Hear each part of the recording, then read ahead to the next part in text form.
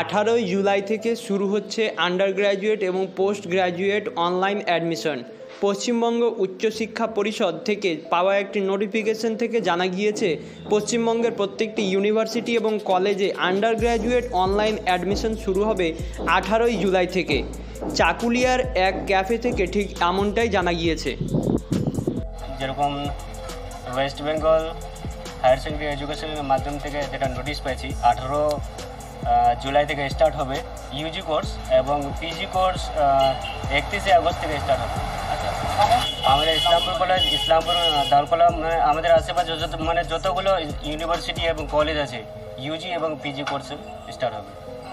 Last date আছে UG কোর্সে আঠারো তারিখ স্টার্ট এবং শেষ তারিখ আছে পাঁচই আগস্ট।